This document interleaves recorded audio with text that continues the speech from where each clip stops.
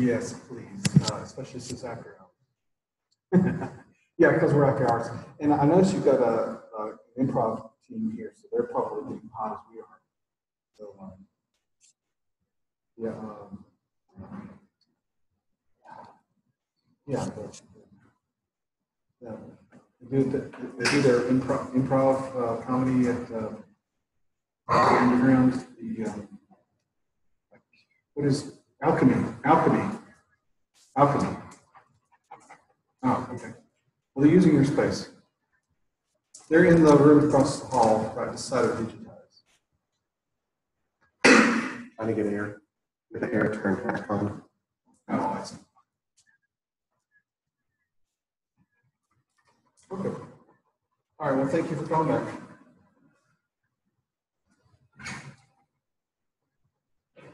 Yes. You have air in Yes, I do. I have air conditioning. but it's- My wife thinks I keep it too cold. Which, which one? you talking? Because now it seemed to move. On the middle? Okay. Okay. Are we on the all natural cooling? I guess so.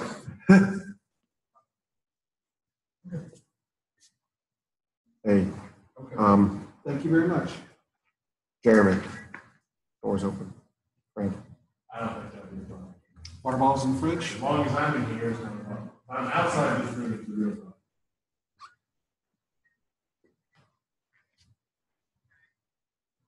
Okay. Great. Thank you so much. Okay. Bye-bye. Talkie. Some people are. Well, hey, everybody. Glad y'all could come to the uh, South, uh, Upstate Carolina Linux Users Group. I was gonna say the Southeast Links was. That's your doing. Um, it's good to see some new faces here. I'm glad to, to have you here. Um, uh, I'm sure you've been on the mailing list for a long time and you're just now finally showing up for once. Um, but we're, we got a treat tonight. Columbia, are you there? I thought I saw some. I can barely hear you. Speak up. Say it. Say a little more. okay, that's my side. Yeah, that's your sound. Oh, it's all the way up. Okay. No, it's What's going on? Yeah. Can you hear us? There you go. That sounds better. Good. So can you all see uh, Zach's first slide? Intro, or IT to home builder. Can you all see that? Okay. Excellent. Now is someone there going to be able to record? Are you recording also? Are you, uh, is someone there recording? Usually it's Ben that's recording. I don't know how to do it. Okay. We'll, re- we'll rely on Zach's recording. Anyway, so welcome to everyone. This is Zach Underwood. And he's just stepped away. So, how's everybody doing? How many people's in Columbia tonight?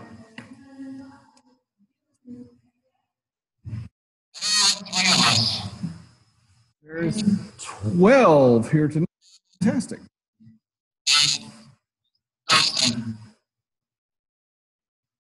All right, ready, Zach? Oh, here's a couple more.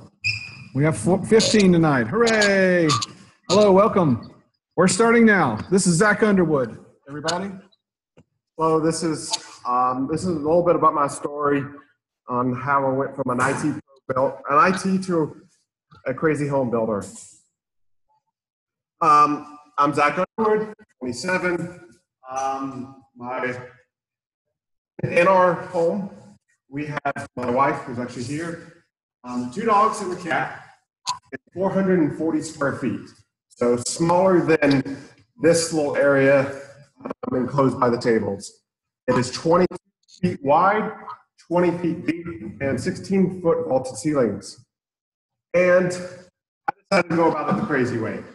I bought the land, built a house, moved in, and married all within eight months. it was a very hard first year of marriage. Um, intro of the house. Um, it is a house. It is not a tiny home on wheels. I, it, I, I, I want to, one of the things I want to make clear is this is a normal house, just small. I didn't go out and do something like an RV, um, like um, what you see on TV on, on the wheels. Um, it's 440 square foot. It is permitted and certified for a residential use by Spartanburg County. It is a legal home. I can't, I can and do have insurance on it. I can get a mortgage against it. It is a normal home, just small. Um, it is connected to the grid. Yes, the grid. Um, so much about the tiny home is about living off the grid, which is it being off the grid is somewhat of a joke. You have to radically change your behaviors. And if you want to live a traditional life, you have to be connected to the grid. You know, if you want to laundry, cooking, you want to take a hot shower, you want to do watch TV, you want to have a server, all this requires the grid. And frankly, it was cheap. Um, I'll get to that in a, little bit. And it is not a home on wheels. It is built on a concrete uh, monolithic slab, um, so it's not going anywhere. Timeline. I we found land in December of 2016. Um, we had a two month or 60 or 60 day waiting period from the time when we put in our offer um, and deposit until we actually closed on the land. Closed on the land in January, and we had the foundation and the drive and the driveway installed by March. Um, and a little bit of that took wrangling contractors. We had a, last year was a very wet year, um, and so it's hard to do digging and grading when everything is wet. It's a mud, it's a mud pit. Um, we then had the drywall and paint done in July. We moved in July. The house was actually finished in, in January of this year. So we went seven months living in a house that wasn't yet done. I ran out of money. Um, I, I, I had a job change. I had a lot of expenses come up, ran out of money, so I couldn't finish the kitchen. Um, Spartanburg County requires you to have a functional kitchen, um, which is not just a stove, a sink, um, refrigerator. They want a complete kitchen before they'll certify it as finished. Um, and so we had to wait the seven months until we got a finished kitchen before they would give us our um, certified of occupancy so that we could get insurance. So we, we spent seven months with no insurance, which is a little interesting when if a house, if, if a fire was a catch out, you could lose everything and have no recourse. Um, for those periods, we did have a stove, we had a refrigerator, we had a functioning sink. We just didn't have any countertops or cabinets. Um, and so it took, it took a little bit of time to actually save up for that. And once we started the process of installing the kitchen, we had to take our temporary sink out um, because we had to, I had to paint the floors, I had to do other prep work, and so that meant doing dishes in the bathtub. Oh my God, I hated doing dishes in the bathtub. Um, finding the land. Um, this, this actually turned out to be a rather lengthy and time consuming process. Um, first, you have to locate it. You then have to make sure that you can get utilities there at a reasonable cost. Because if you build, you know, three quarters of a mile down a dirt path, it's going to cost you money to get power there. Um, and so all of these go into factoring, deciding where you want. And the biggest thing that we ran up to is um, deed restrictions and covenances.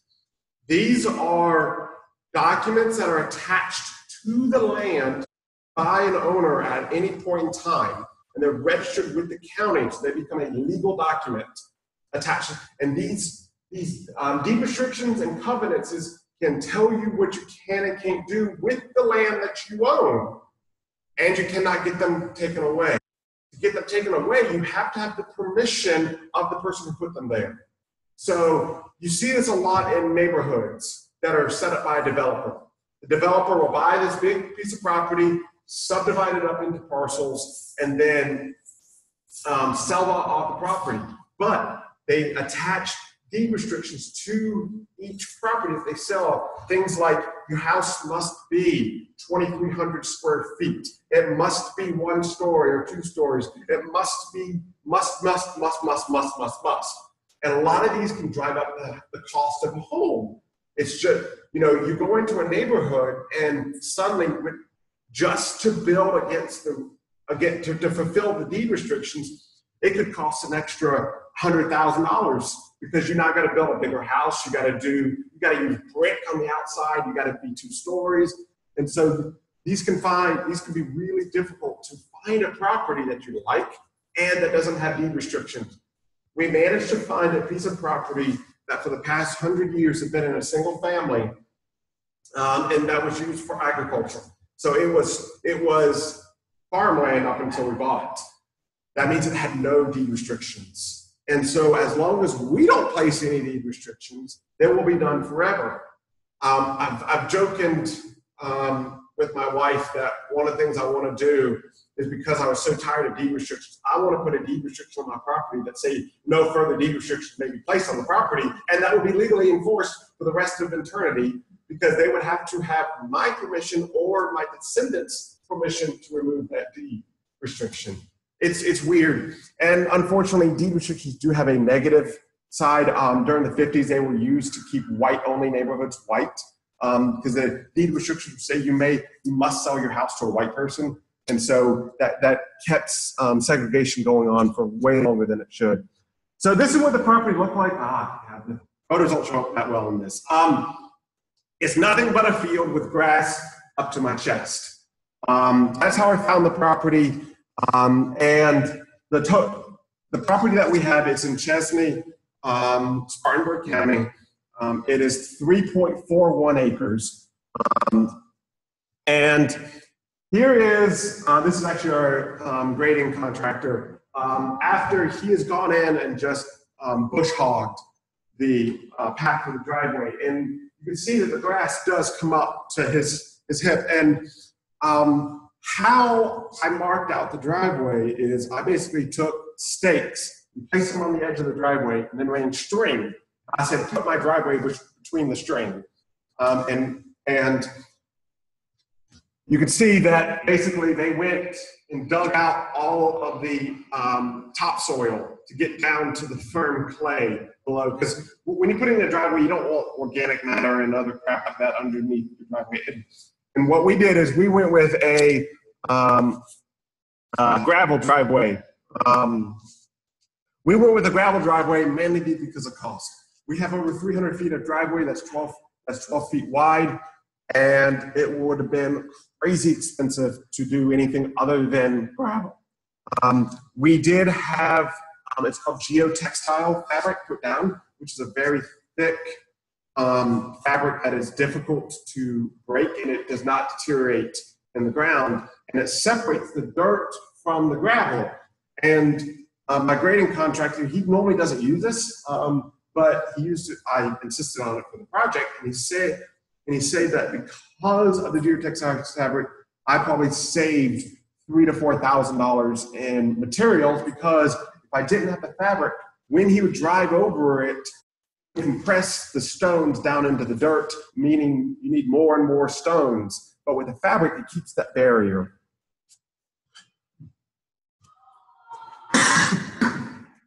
So here you can see me laying out the foundation. So what I did is I took um, some 10 inch nails, I drove them into the ground at the corners and then ran string and said, this is the outline of the house. Um, that little bump out is um, what we were planning on using for a little stoop, um, but we have we had to go away from that for another reason. Um, so here you can see um, on the left, um, you can see the gravel driveway, and this is putting in the conduit. I had to run this pipe for the water line, um, or I had to run this trench for the water line. So I was already digging it. So while I had the trench open, I dropped in some conduit, um, which right now is filled with Ethernet and power, um, which feeds a camera that's sitting by the driveway. Um, and here is the concrete slab. Um, you can see the little step there. And when when I had them um, when it was still wet, I had them put in bolts, which you can. I don't know if y'all here can see that, but there's there's little bolts sticking up, and they're, they're J bolts. So they're embedded in the concrete, and because the concrete compresses really well, they're extremely difficult to pull out. Um, and right behind it, you can see our shipping container. Um, during this process, I needed a place to store my expensive materials and my tools, somewhere that is protected and wet. I got that container delivered for 2,300 bucks. Um, it's 40 feet, um, 40 feet long, eight feet wide, and um, nine feet tall. Great for storing all the material, all the expensive materials and the tools. Um, and here I had to level the container because it was slid off the back of a truck and it made opening the doors difficult because it wasn't level. They were binding. Um, and so I found a local rental company that had these railroad jacks. They're rated for 15 tons each. The container is 8,000 pounds um, empty. Um, there's some stuff in it, so it's probably about um, 10,000 pounds at this point. And I was able by myself to lift this container up um, with these two jacks. And so I had to level it out, um, paying for it. Um, this was a, this was a lot more difficult than I thought, and I made I made a, I made a few mistakes here that made the process even more difficult. Um, so a couple different ways you could pay for it. Um, paying for just a, a building building something in general. Um, there's cash. Um, there's loans, mortgages, and other types of financing. Cash is great if you have it. Good luck. Um, then you have loans. The loan I had to settle on was an unsecured personal line of credit, um, which has a very high interest rate. For a loan, it is very expensive. It was 12% interest rate. And when you're borrowing, you know, forty, fifty thousand dollars, that can be a very expensive payment. The advantage with a personal loan is it acts like a credit card. So the pay, what you have to pay monthly, proportionate to the amount of debt on it. So when you start out the building process, you're not hit with a thousand dollar a month payment because you have a very little amount of debt on it. The next, the next is mortgages. You cannot get a mortgage on an unfinished house. You can't get a mortgage on a house you don't have yet. You can't get a mortgage on something that isn't certified for occupancy. You can't get a construction mortgage um, for a house that's not built by a contractor. On a on a mortgage for a for building a house through a contractor, the bank would have to approve the contractor. The bank would have to approve the plans, and then they dole out the money according to a progress schedule. And so the the problem with that is if the bank doesn't approve your house, it's 440 square feet, or if you're building it yourself, you're not an approved contractor. So I, that wasn't an option for me. And other types of financing would be friends and family, begging, stealing, borrowing, or other methods. I don't recommend the stealing. Um, so this is what it looked like in March. Um, this is starting to put up the walls. Um, one thing, because my um, linear square feet was small, I wanted to um, make up a little bit of it with volume. So I, most houses are constructed with um, 96 inch studs, which comes out to about eight, eight and a half feet. Um, mine, I did all with 10 foot studs. So my walls already are already a little two feet taller than the average house. um, and so what you're seeing right now is looking um, with, with your back to the container, looking through the kitchen and into the living room and bedroom area. It's not that big. That right there is 20 feet. Um, one of the downsides about laying out your property when your weeds and grass are up to your chest is you can't tell the topology of the of the property. And this is one of my boo-boos. Um, I built the driveway in the absolute lowest part of the entire property. And so this is after one of our lovely spring storms that dumps two inches of rain in half an hour that I end up with my driveway becoming a lake. And we, for a long time, we nicknamed it Lake Underwood. Um, and it would take about four to five days to drain out. Um, this ended up costing about $8,000 later to fix. Um,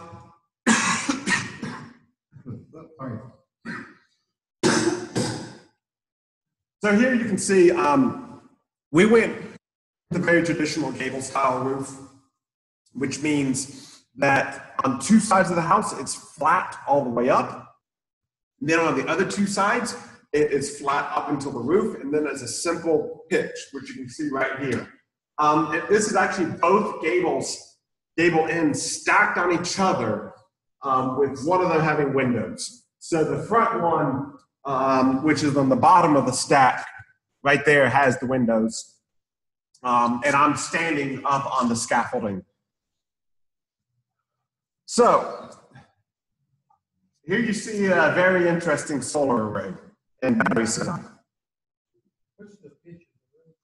Um, it comes out, I don't know the exact pitch. It is, it's five and a half feet tall and 11 feet run. So it's close to a one to two. Usually you say like five, twelve, five inches for twelve. Yeah, th- th- this is, it's, it would be like a 12 6 then. It's close to a 12 6. Um, and so it's on a metal roof, it's a little steep um, to, to walk on comfortably. But if I went any shallower, I would lose headroom within the room. So I, I, I kind of met a middle ground with the height that I chose. Um, so last um, in 2016 um, or 20, 2017, um, I went out and did the network for the Southern California Linux Expo, which means I was out in California for um, a little over a week while I was building. And our container was broken into. It, it turns out containers are thief magnets when they're sitting by themselves on a construction site because they assume tools and materials. So they, they, they cut the locks and got in. And my wife actually was the one who discovered this. And so um, I had her run off and get some better locks. Because the locks, in hindsight, I had were not that actually that good. Um, I was a little naive. Um, and so, but they are better locks. But I had the problem with I did not want to bring on a bunch of expensive building materials because you know, it was like it was like going to be like five thousand dollars materials that were going to be dropped on the property. I didn't want to just leave those by themselves, given that we've already been broken into once. So, so it was about a thousand dollars worth of tools and materials. I didn't have that much in the container yet, but I was planning on putting a lot more in it. And so um, they never caught they never caught them. Um, frankly, the Spartanburg Sheriff's Office couldn't give a couldn't give a fuck about it. Sorry. Um, yeah, I've not been about that at all. Um, so I wanted a way to, to as a deterrent to keep an eye on the property and to offer a deterrent. So I, being being IT, I was like, okay, cameras. The problem with cameras is they need power, and whatever you record the cameras on needs power. Laptop in my case. And so I didn't have permanent power at the property. And even if I had permanent power at the property, it would basically be an extension cord running 200 feet up to my, my temporary construction pole, which any, any robber would just have to simply unplug and could turn off the cameras.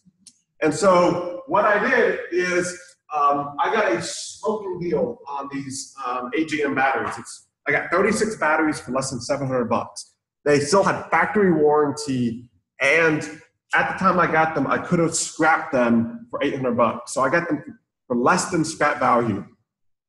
Um, yeah, it's a, it, and they still had a manufacturer warranty. So I already had the battery array, but I needed a way to charge them. So I threw up some solar panels, which you can see sitting on top of the container.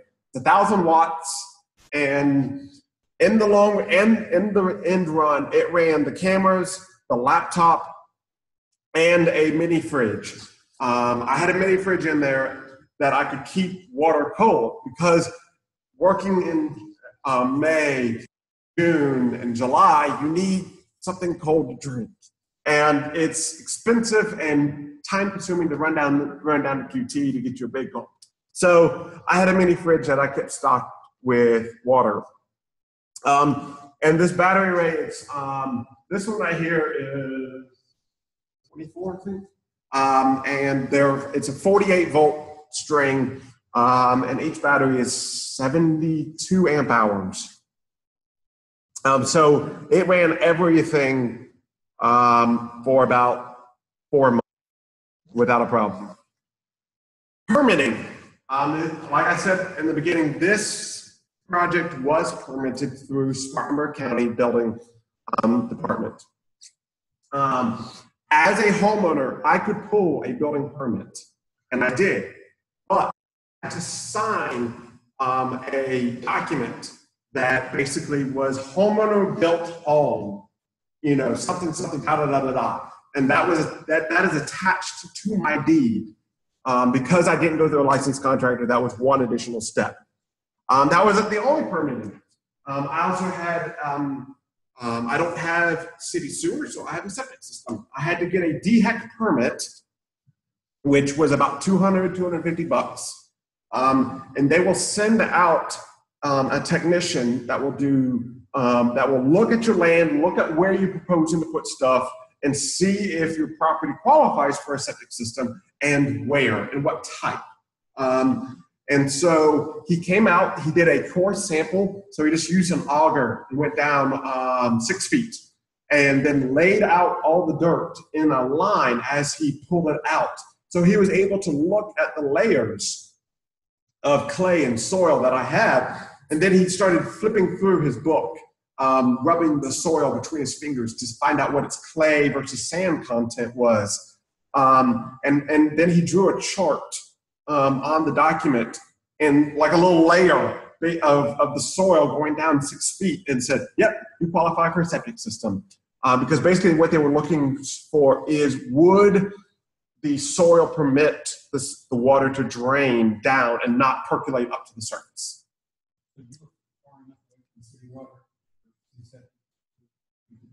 Yes, yes. Um, I have city water, um, but one of the things that they look at is what is the proximity to surface water, like a river, a stream, a pond? What is the proximity to someone else's um, well water? And so you, DHEC will figure out if you're far enough away from all of that. And if you are, they give you a thumbs up and a permit. I found out contractors really, septic contractors will not talk to you unless you have a septic permit. So they, they go, go away and get your permit. And so you, then you give them the permit and they're happy to talk to you.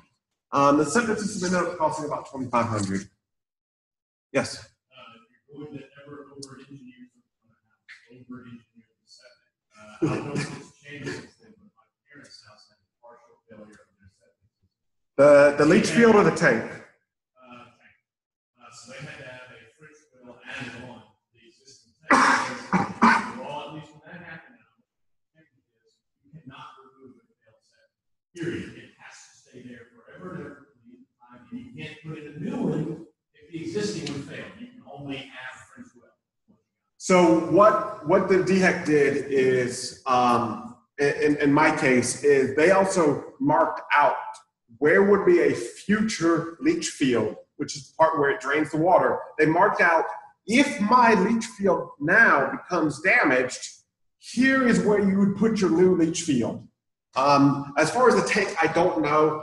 I um, I think you can actually get it dug up and replaced, um, but they have to do a lot of digging because anything that gets contaminated, they have to remove from your site. Very, very involved. Yes. Um, and then the last permit I had was I had to get a driveway access permit. Um, and my my particular road is a county road. And if you look at the symbols, at least in Spartanburg County, if you look at the street signs, the, the green ones, they'll have a bird on the end of them. That, those are county maintained roads. If it's got the state seal, those are state maintained roads. And so who owns the roads controls who can, um, well, basically, well, you have to get your permit from. And mine was a county permit. And basically, what they wanted to do is make sure that where I put my driveway was, it was first off wide enough, it had to be 20 feet. And B, it was safe. So it wasn't too close to someone else's, it wasn't in a dangerous spot.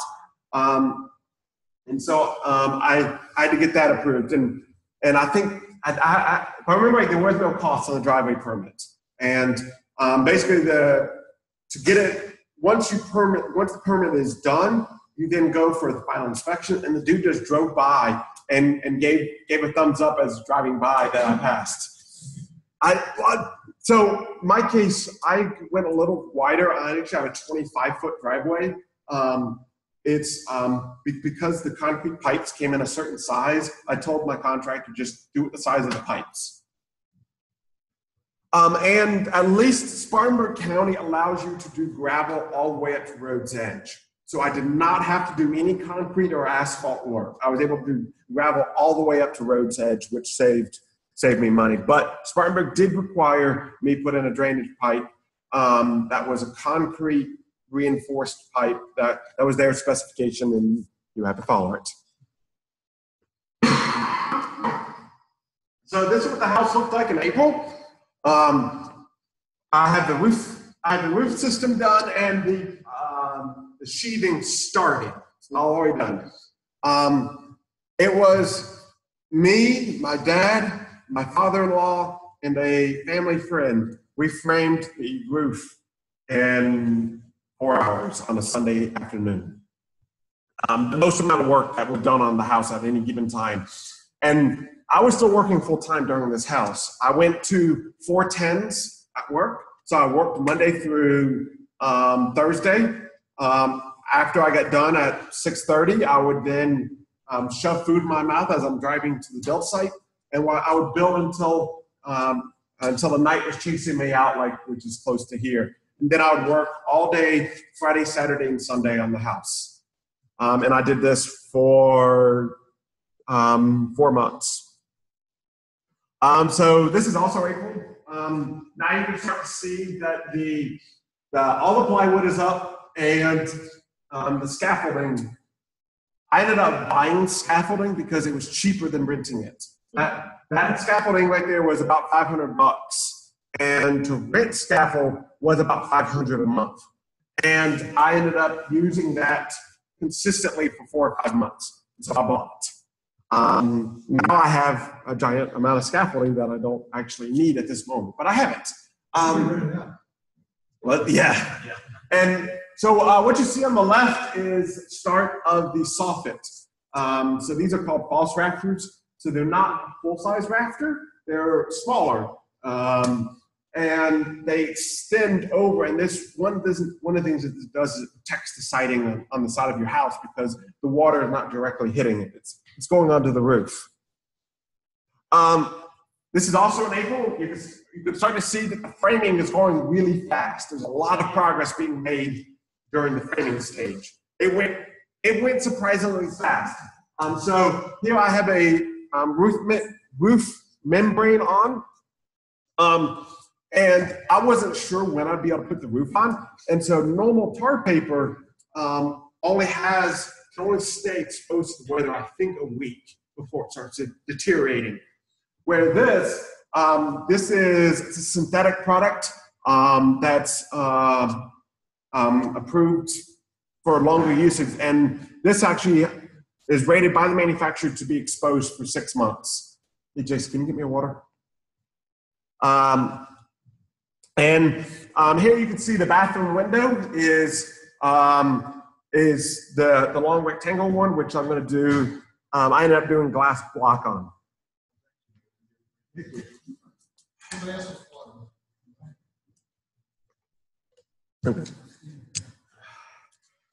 So, dealing with contractors, it's got to be one of the most frustrating things, and that still puzzles me today because I'm still having to deal with them occasionally, is it seems like contractors, at least in this area, they're super busy and so they don't care about your business. They don't return your calls. They don't answer your calls. When, when, you call them and they say they're going to call you back, you know, tomorrow, they never do. You have to hound them and hound them and hound them and hound them and hound them just to give them damn money. It is amazing that contractors are so incredibly busy right now that they don't care. So that that face right there sums up my feelings on dealing with contractors. Um, so I dealt with, um, I did, I had a plumbing contractor that did the plumbing underneath the concrete slab. Um, uh, that did not turn out well. He didn't do any more work for me. I had the grading contractor, and then I had um, the drywall people, which did not turn out well either. Um, so again, I hate dealing with contractors. Um, I did all of the framing, electrical, uh, plumbing above ground. Um, painting, roof, siding, um, all that I, I did either myself or with the help of my dad and family friends. I ended up cutting it away and running it through the walls uh, because I couldn't undo it because it was in it was in the concrete slab. Um, so here is in May. You can start to see the interior is now starting to be framed up. Um, and originally, I wasn't planning on doing a loft. Um, I was going to have the bedroom ceiling go all the way up. And then actually standing in the space, going, "Holy crap! That is that is a lot of space up there. Uh, why not put a roof? You know, why not put um, a some a floor on it?" And so I did a little quick numbers, and it would cost about ah four to five hundred in extra materials to put a loft. I was like, okay, fine, loft done. Um, and at least I'm able to stand up in the loft, so with about an inch above my head, and I'm right at about six foot. And so it, but as you start going down the sides, you do have to hunch over. Um, so here's in May. Um, this was a great day because I finally, first off, I got the house secured by putting a door on it. So now I could start to leave materials and or tools within inside, not always having to clean up because it, it, it was very annoying after you just spend all day working to then have to spend half an hour picking up your crap and putting it away in a secured location. No, I did not disassemble scaffolding. I felt with the scaffolding that it was so it was so much work to disassemble to get it out of the house that it wasn't worth stealing. Um, because it it would take me about half an hour to just disassemble or reassemble it myself. I'm like, no, I'm not doing this every time. And the other thing is that once I got the Tyvek on, the house um, and the windows and the other stuff starting to be done, it became watertight.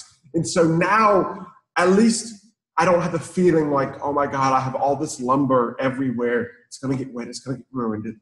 I, at least I now was like, okay, I am now dry, dried in, as they, as they call it. Um, this is where I took the opportunity to run some of my Ethernet cables. Um, and my logic is I tried to put an Ethernet cable every possible place I could think I would need an Ethernet cable. Um, and so in my loft that is less than 20 feet wide, I have three Ethernet cables. Why? Because I can. Um, and the other thing I also did is I ran Ethernet cables to the exterior of my house for cameras. I was like, i know I'm going to put cameras. I'm going to go and run the Ethernet. So now all my cam- I have um, four cameras on the exterior, one on every um, corner, um, and they all are hardwired in. So I don't have to worry about batteries. I don't have to worry about them being on Wi-Fi. They're Ethernet and I run PoE. I ended up filling up a 24 port patch panel with just Ethernet from a 440 square foot house. Yeah, yeah, I'm that person. Uh, so here, here is where I start um, running the electrical and the plumbing. Um, I hate doing the, the, the vent and drain of plumbing, which is all the white stuff. because it's stiff, it doesn't bend well, and you have to maintain slope. Water does not run downhill, and there's a certain prescribed slope, which is an eighth inch for every foot, if I remember right, is the minimum slope to actually get water to run. And so every time I ran a horizontal run, I had to calculate slope. That's why I did very few runs of horizontal. Um, and then the we used is PEX, uh, which is a plastic uh, pipe that is flexible, happens to be color coded, um, red and blue, and it allows you to reduce the number of um, joints with uh, or connections within your walls. Um, and it's a lot easier to run because you're not having to put in a two foot piece of pipe and uh, then solder it with a four foot piece of pipe because you can't bend copper. Um, at least normal copper water lines you can't bend. And also, soldering is art, an art that I am not good at. Um, and so I chose to, um, I used um, crimp connections. So it took a, um, I believe it was a brass or copper ring that I put on the outside of the PEX, put it on a fitting, and then I used a crimper tool, just crimped it down, and it squeezed that copper ring so tight that it made it watertight. Um, and then here I'm starting to run all the electrical lines. Um, it was it was a lot of work, um, but I got it. I actually enjoyed the electrical part. Um, I enjoyed some of the plumbing. I enjoyed the framing. Um, I didn't enjoy the other stuff. I'll get to that. So utilities. I'm on city water, uh, Duke Power, Charter Internet, and septic system. Um, a lot of people, when talking about tiny homes, they always talk about going off the grid, off the grid, off the grid. Well, what that actually means um, for a lot of people is a composting toilet, which means you're pooping in sawdust, and then you got to carry your your waste outside. Um, it means using a lot of propane because instead of instead of electric stove, electric dryer, you have to use propane. Propane heat, propane stove, propane dryer. Propane's expensive. Um, propane because I have a tankless hot water heater, um, and it's expensive. Um, other is um, grid power. A lot of people talk about power, getting grid power, utility power is, is expensive. For me, it was free. I paid nothing up front for my power. I only have a monthly bill, and that's fine because my power usage is only about 60 bucks a month, um, even with all the crap I'm running. And because I was within less than 300 feet of from where I wanted the power meter to be and where Duke had a had a telephone or power pole, they ran it underground for free. So they, they came and dug um, it was about 200 feet worth and, and put it in there and didn't charge me a dime. Um, and then um, they also had to put a telephone pole on my property because I had power lines running over a corner of my property. And uh, due to right of way, in order for them to get on my property, they would either have to ask permission and pay my neighbor to get right of way to my property, um, or put um, across the street. And so that means they're now um, bringing it under the road, which is a lot more permitting for them. Or they could sink a telephone pole or power pole on my property, hang the transformer, and run the power like that. They, they chose to do that. Um, and the other thing is, when I chose the property, I chose it. One of the reasons I chose it is because it had charter already running along that same right of way with Duke. And so I looked up there and I saw their connection box, and I was like, "That's charter." And so um, I didn't have to pay anything to charter to get them in my to get in my house either. You said, you said it was already going up the corner. Is that what Yes, they, they, they, they put it on my property uh, under their existing power lines. Um, so this is um, in June. Uh, you can see we got the roof on. Uh, This the red roof is one of my favorite features of the house. It's, it's a red metal roof. It's very classic. Um, one thing I did find out about metal roofs is um, when you get a hailstorm, the insurance company will not pay to replace it because after a hailstorm, a metal roof is, is not structurally damaged. It may be visually dented, but it's not actually damaged. Um, and looking at the specifications of my roof, I believe it's got a class four hail rating, which means it's rated for to withstand up to two inch hailstones, which are unheard of in this area. So I'll never have any issues with my roof. And by having a metal roof, you do get slightly cheaper insurance rates because they know that uh, you know every five years they're not having to replace your shingles because of a hailstorm. Um, here you can also see our siding. It is hardy board fiber concrete. So it- it's actually a concrete with a fiber in it that's put out on boards. Um, and but one of the advantages is it has a fire rating equivalent to brick. So that also reduces your insurance because uh, your house is less likely to catch on fire if something outside is on fire. And so um, all of you know between the hardy board, these are premium. They're not cheap. The vinyl and shingles. Um, you know, I, I paid probably an extra three or four thousand to have this, but I think it's worth it.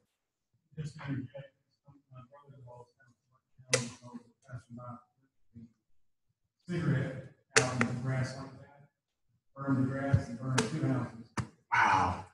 And Yeah, and and something else I made a conscious decision, and you'll see pictures of it later, is I don't have any vegetation up against the house. I have a four foot band that goes all the way around my house of gravel. So I I have nothing that's flammable near my house. Um, one thing I underestimated is just how long it takes to put up a hardy board. It is by far the longest, or it is the thing that I spent the most time on. I spent five or six weekends doing nothing but hardy board. It's slow.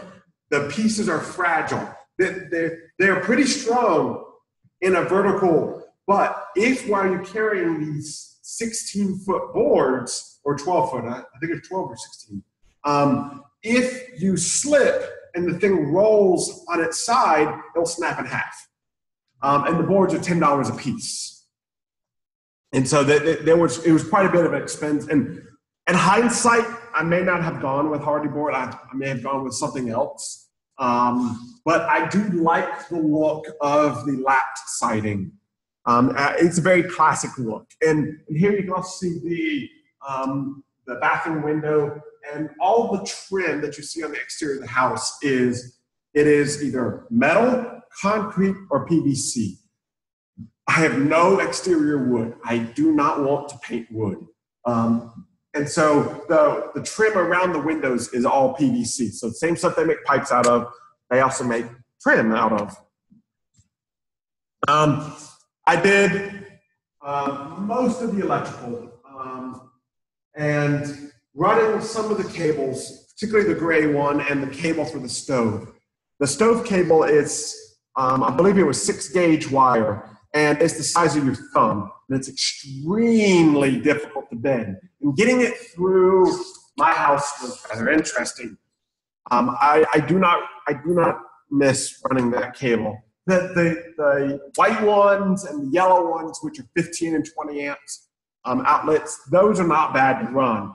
Um, the gray one is a 30 amp, which goes to my dryer and my dishwasher, or my dryer and my AC. Those are a little more difficult, but the stove was by far the worst.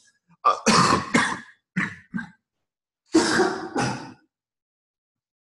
um, one thing I didn't estimate is how expensive breakers are. Your standard breakers um, are only about five dollars, but um, the newer electrical codes require arc fault breakers um, in things like bedrooms and living rooms. Basically, what an arc fault breaker does is if it sees an arc um, from hot to either neutral or ground, it will look at the sine wave and, and be able to tell if it's arcing and it will cut power. So if your wire is nicked by a screw or something like that, it will, it will prevent a short or a spark that could- burn your house down. It's great. Um, then there's also there's certain places where you require GFCI, which are um, it, um, around wet locations like kitchen and bathroom. Well, they the breakers they don't sell either just um, arc fault or just GFCI. They, they do, but they're like 40 bucks. But for 50 bucks, you can get a combo that is both arc fault and ground fault. And so there are places where you have to use these more expensive breakers. And so I ended up spending like 600 or like 300 bucks in just in breakers that I was not planning for. And that, that came at a bit of, bit of a hard hit. Um, another mistake I made is my breaker panel is a little small.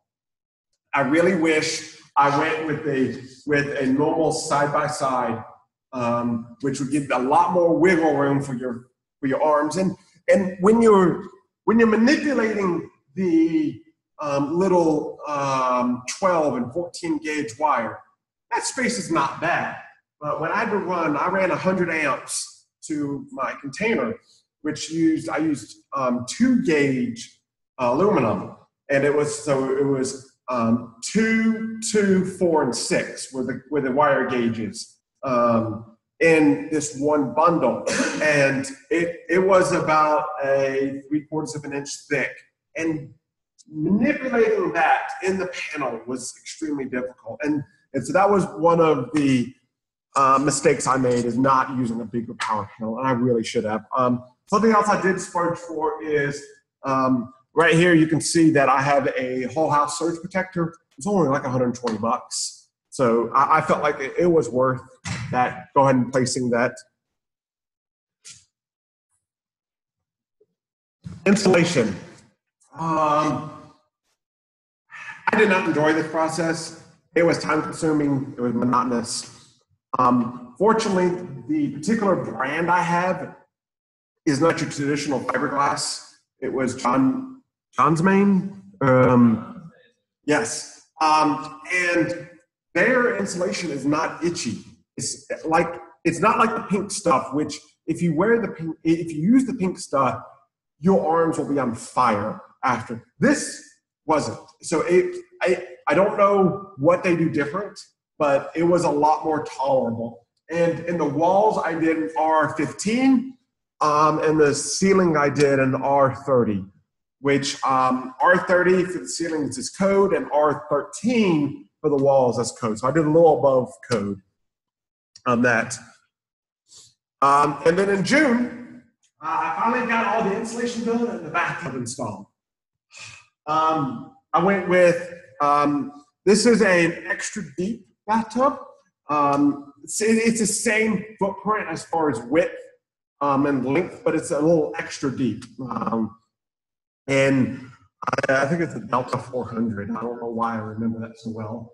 Um, but it, but it was it was a four piece um, tub, so it wasn't. It did not come as a giant assemble.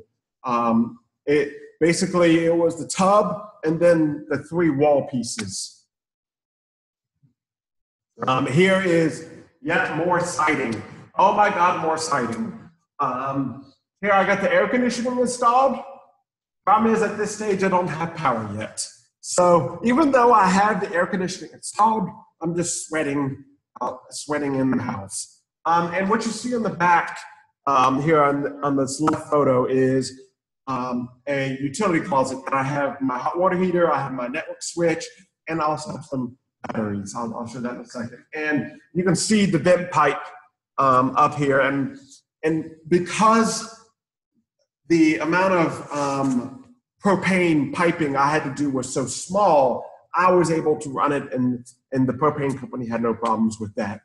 Um, I did have them after they turned gas on. They did. I did have them check all the connections to make sure nothing was leaking. Um, drywall. This was this was a rough point. Um, the we were running up. We had two weeks. So this is two weeks before we moved in, um, and it was right around the 4th of July. Well, all the drywallers, all of them took a week off. So getting people in to do it was, was difficult. And then the job that they did, I did not like it because you could still see, in, in a few different places, you can see the seams because they didn't do a very good job. But it's done. Um, eventually, maybe one day in the future, I might get it fixed. Um, painting.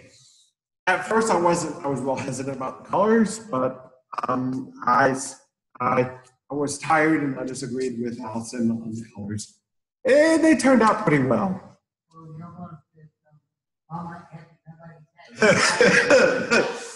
Yep. And here you can see that um, I got the bathroom installed, and it was also it was another great day when I got the toilet installed because I didn't have to run to QT every time I needed to go to the bathroom, um, which became a large time sink, or use nature's toilet. Uh, when you got three and a half acres, you can find privacy. Um, this was another great thing. Duke finally came in and installed. Um, exactly. Um, and so here you can see they're starting the prep work to set a to set the pole, and they brought a squad. I mean, there- there's three trucks there. Then there's another truck off in the background, and then pickup truck with the supervisor. It was like it was like 25 dudes that just swarmed the property. And the other thing is they don't even notice; they just show up. Um, and then um, they, they, they subdivide the crews into the underground crew and the aerial crew. And so this is the aerial crew. They, they set the telephone pole, they do all the above ground stuff. They didn't, I asked, you know, okay, wh- when's the guy gonna be here to run the cable from the house? He goes, oh, two to three weeks. I, I'm moving in a week. I need power. And so I rattled enough cages, you know, um, pitched enough of a fit that it went high enough up the chain, and they managed to get the regional supervisor involved and get the underground crew out the same day. Um, and the, the, the, the guy who called the, the, the, the supervisor of the underground crew, he's like, this is unheard of. I'm never, you know, my, my three levels, three levels high supervisor called me and told me to come, come to this address and do this job. Um, and so the underground crew ran the wire, hooked it up to the power meter, and then stood it up to the pole. But they're the underground crew. So then these folks had to come back out here to actually hook it up to the transformer. At which point I was able to finally get power. And guess what? I turned that AC on high and I got it down to like 60, 62 degrees in there. And it felt good after sweating at 95 degrees for so many days. So this is in July, right before we moved in. This is what the house looked like. It was livable. It was a little rough though. Um, and so this is after we have already moved in um, in August. So when I we'd originally planned on just doing the stoop, um, and then um, I was working um, in the house during the framing stage, and a big thunderstorm came through, and it started. The, this front wall started to move in and out like two to three inches. I was like, oh crap, I can't have this. Um, I was like, okay, what can I do to stiffen this wall up without having to reframe it? I was like, I'll put a porch on. And so what you see here is me setting the header for the porch. And the header by itself already stiffens up the wall because it's, it's a piece of wood that goes the entire length and it's bolt, it's lagged in to the wall. So it's not moving. Uh, and here I, um, I, I finished the boxing for the soffit. So um, there's a soffit and fascia. The soffit is the uh, flat part that's underneath, and the fascia is the flat part that is vertical. Um, and then I have a very lovely um, Russian neighbor named um, Vladimir, and he worked as a former commercial roofer. Um, and then in um, 08, when the economy took a crack, he started um, buying distressed, foreclosed houses, doing a little bit of work and turning around and selling them. And so I didn't ask, he just offered to come over and help do. And so he helped with the fascia, the soffit, and um, helped me install the metal roof. Um, and and I, I, you know, he's a great guy, and he didn't even charge for it, which was uh, amazing because during this point, money was very tight. Um, and um, here's we originally were going to go with the engineered um, laminate um, floor that clicks together and floats. Don't do that if you're going to be in a wet location. Um, we had some by our front door, and we'd come in from outside, and we'd have a little wet, you know, some water on the bottom of our shoes, and we'd take our shoes off and put it there. Well, very first time after doing that, the wood swelled um, when it got wet. The flooring swelled when it got wet. I was like, oh, I can't have this crap. And so before they could put kitchen cabinets in, I needed to do something with the flooring. I was like, what can I do? You know, I have this concrete slab, and that is true. I didn't have my COA yet. Um, and so I ripped, I ripped up all the flooring from the kitchen and, and put down, this is garage epoxy paint. Um, so it, it's very um, glossy here, but it does, it does matten out over time, which is fine for us. And so I did that in the bathroom and the kitchen, which is what you see here. It's really difficult to live in a house when you suddenly have to go from 440 square feet of usable space down to 200 square feet and all the stuff living with it. So everything that was in the kitchen and bathroom had to be moved to the other half of the house. Um, that was fun and difficult. Did did you put, uh, a plastic sheet underneath the concrete floor? Yes, the contractor did put a vapor barrier under it. Um, but one of the advantages with this garage paint is it is, is it also is a vapor barrier. After it dries, it is impermeable to mo- moisture, um, which we we had a huge issue with moisture, um, particularly over the winter when we were, we were not running the AC. Um, we were getting indoor humidity of pushing 80% uh, relative humidity, which is crazy indoors. But when you have dryer, you got sink, you got dishwasher, you have um, shower, you got bath, you got humans breathing, you got animals breathing. There's a lot of things producing moisture. And in such a small space, it's easy for the indoor moisture to shoot up. Getting a dehumidifier was the best thing we've ever did. So now we got a dehumidifier that keeps it right at 40% relative humidity. So this is the kitchen in January of this year. Um, so for seven months we lived with no kitchen and no insurance. And we got a kitchen installed. Um, and I think it looks damn good.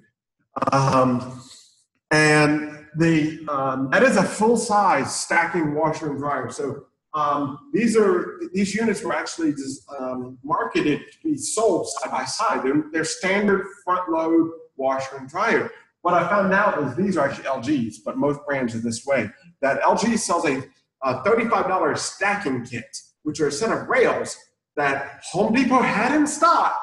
I picked them up, slapped them on, and I was able to stack them. Um, and so that's um, I was able to do all of that. Um, and so we have normal size stuff. That's that's one thing I want to harp on is this is our normal house. We have a normal dishwasher. We have a normal um, washer and dryer. We have a queen bed. We so we have normal things. This is not a kooky uh, tiny home on wheels where you know you pull a string to get your bed down or anything like that. It's a full size stove, full size refrigerator. Um, one of my favorite features is I love the um, tile backsplash.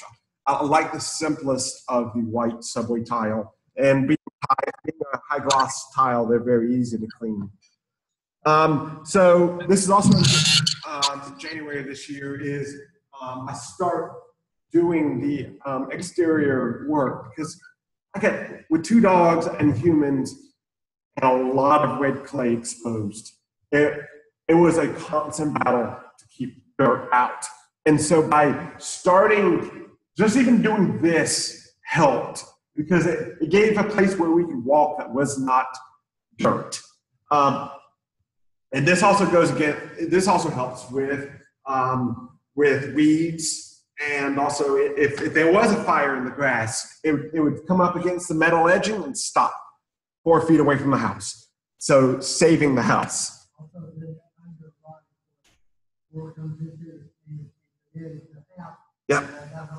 Yeah, yeah, it, it- it definitely helps, and also helps that um, we don't have to worry about tree roots or roots getting underneath the slab, or or even vines damaging the exterior of the house.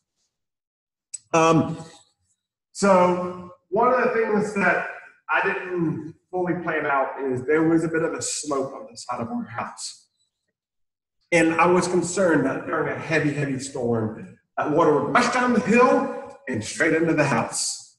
Um, and so what I did is um, I rented a backhoe and dug that back and put in a, a block wall. Um, that that right there is about 2,000 pounds worth of um, block that was extremely heavy to move.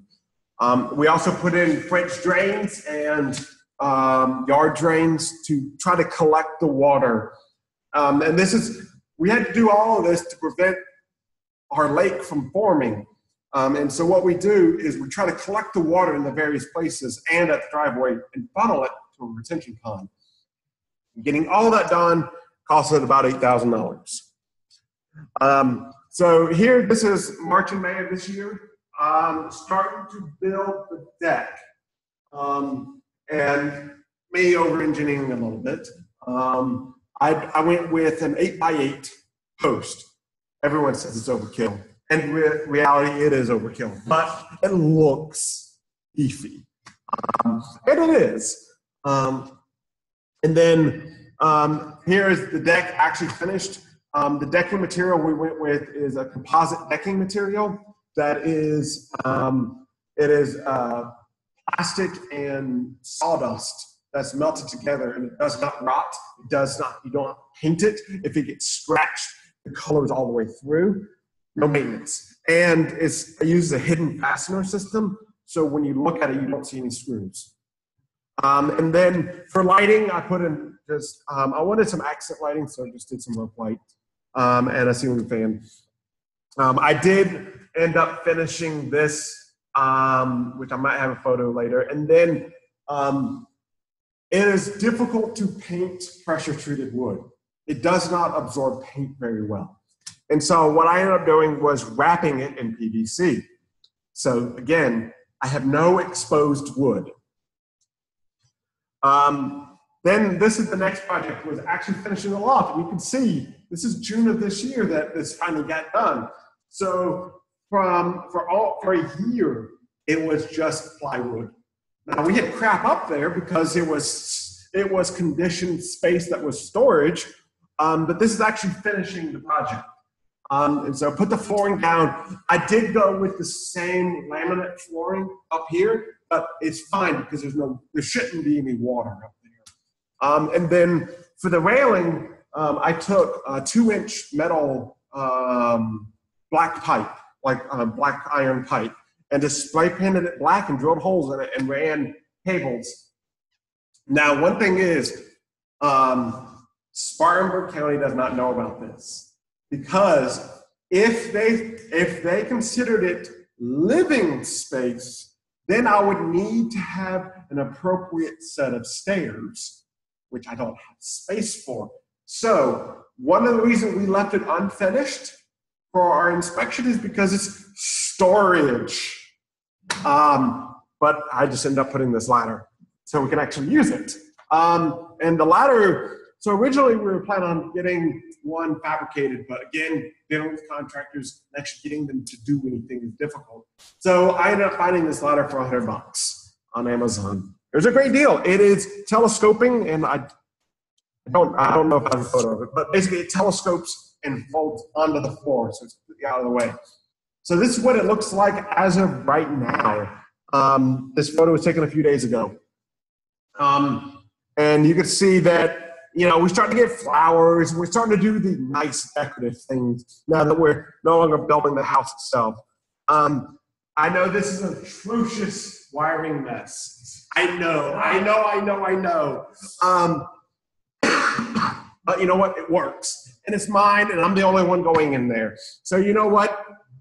F all y'all for, for, for thinking anything negative. It works. Um, I got my network switch, I got my cable modem, I got my access point, I got actually two switches here. Um, but what you see on the left is actually my um, UPS for my house. Again, I had all these batteries. So I, I hooked them up and it will run my refrigerator, all the lighting in the house, all my network, the electric control for the hot water heater, a ceiling fan, and a few other things for about nine to 10 hours. Um, and so far, we haven't had to use it. Power's been surprisingly pretty stable. Um, and this is what the inside looks like. Um, so this is the living room and uh, bedroom, and that's a queen bed that we got from IKEA. So it's got storage underneath. So we got big drawers pull out that gives us storage underneath, and there's also a closet. Um, you can kind of see it right here on the left of this one picture. Um, it's a seven foot wide, two feet deep, so it's it's a decent sized closet. Um, and then we also got shelves for the cat. He occasionally goes up there. And um, the TV's wall mounted, and then also more IKEA furniture underneath as a display. Total cost 20. I paid $27,000 for the land, and the house itself costs about 50000 for the materials and labor that I paid for. Um, at this rate, I should have this entirely paid off in about a year and a half, which point I'll have no rent, no mortgage, no debt. Um, except I'm going to go right back into debt when I build a main house, um, which is part of the future plans. Um, we have three and a half acres. I know that 440 square feet is not sustainable to have a family in. It's not. Um, and so we are planning on building a main house on the same property, at which point the current studio, as it sits, should rent for about 14 to 1600 a month to short-term traveling nurses. They because they get they get a per diem for their housing and they're short-term 13 weeks. They travel with typically with no kids by themselves. Um, so they're not going to be partying out, you know, yahoos or bringing in a little munchkins. Um, and they have a high disposable income. And I'm less than 10 minutes from Spartanburg Regional and Mary Black hospitals. So, and my competition would be hotels. Would you rather live in a hotel for the same cost or live in my studio with high speed internet, ensuite laundry, you know, private, you know, you don't have hoodlums, you know, above you. Um, and the, the rent payment should more than cover the mortgage payments of the house, probably by about 2x. So at which point I'll have the house paid for in, a, in probably 10 to 15 years, the house will be paid for completely, and the studio will be residual income perpetually. For more information, um, there's a tiny URL with a link to close to 400 pictures, um, even more detailed than what I've gone into, and you can always shoot me an email if you got questions. Thank you.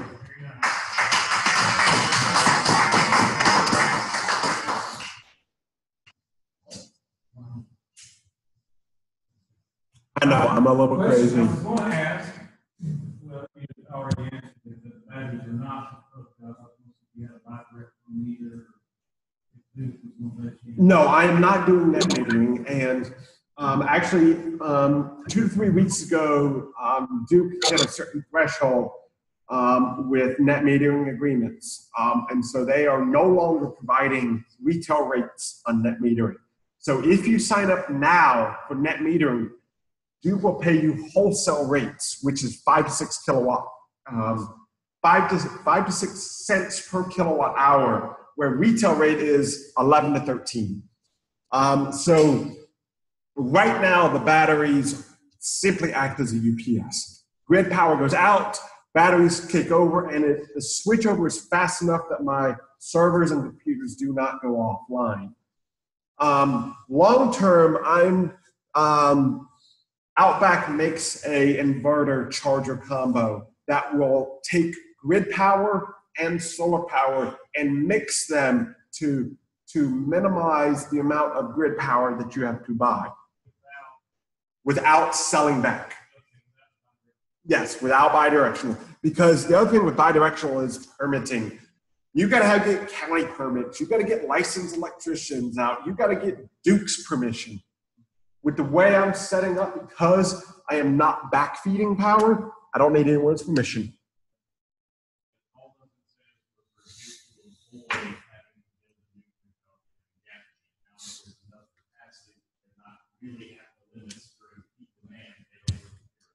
And the other thing is demand itself has dropped. Per capita has dropped because houses are becoming more efficient. Lighting, lighting between LEDs and compact, instance, are becoming more efficient. So the actual power usage is going down. Yeah, but it's it's starting to plateau because of electric cars. Electric cars are going to start driving demands back up. Yep.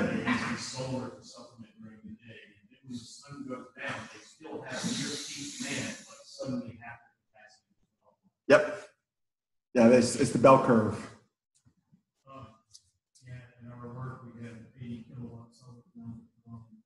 That's a lot of solar. Yeah, that's the max we would let us have before we, you know, picking up our. But, uh, the, the, the panels spelled out on the roof, spelled out the I, so the airplane can read it. Well, I, I know what I know what they did with Furman, because Furman's got a big solar plant um, right on the side of 276, and what they actually do is Furman paid for it, but Duke runs it. So so it's unlimited capacity. So because it's a Duke owned or Duke managed facility, they do whatever size they want. So so that's how they got around that that limit.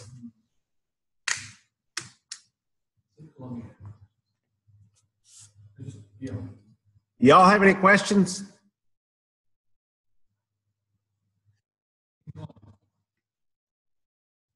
I was just quick.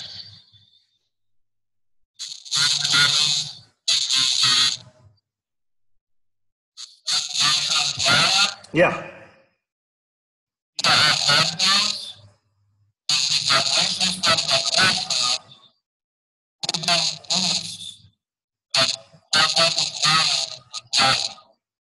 Ed?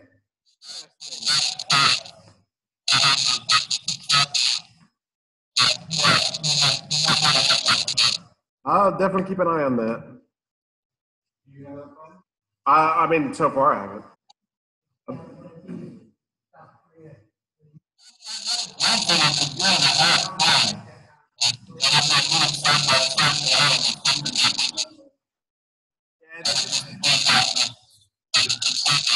Yeah, the, the only problem is, is I, I don't physically have the space to go side by side. So if it goes out, it, it it's a stacked unit. Yeah. Yeah.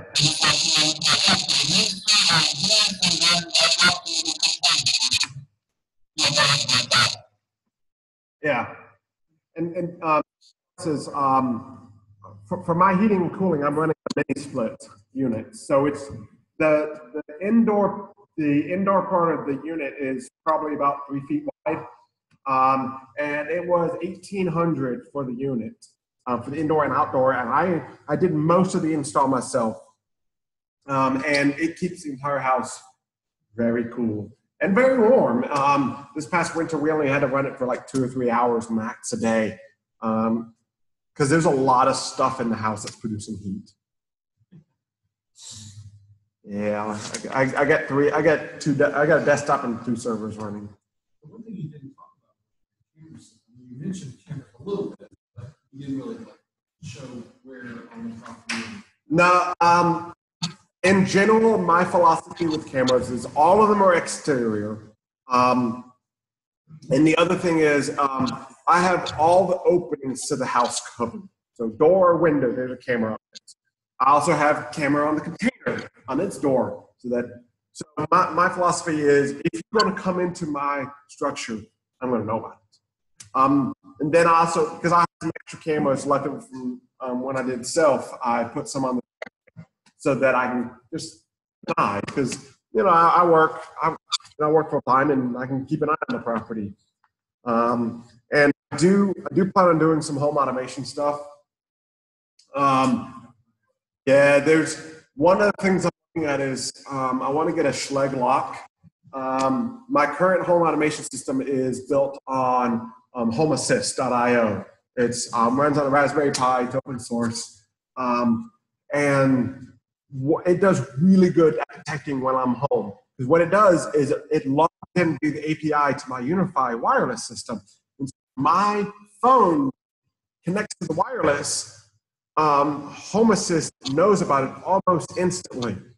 And so one of the things that I plan on doing when I get a Schlage lock, it's it's it's a network connected lock. And so when the um, home when when my home automation sees I'm home, they'll go ahead and unlock the door for me. Um, and you know, some people go, "Oh, what about security? What about if you get hacked?" You know, at some point, it still becomes easier to just put a brick through your window. Um, and you know, I'm not worried about someone either hacking my cameras or hacking my home automation. At some point, it's easier to physically come to the property and do it. But um, my, my home automation is very simple at this point. I'm hoping that by next summer I'll have it a lot more developed and I'll possibly even give a talk about it itself. But right now it's still pretty junior. Any other questions? Really? Nothing?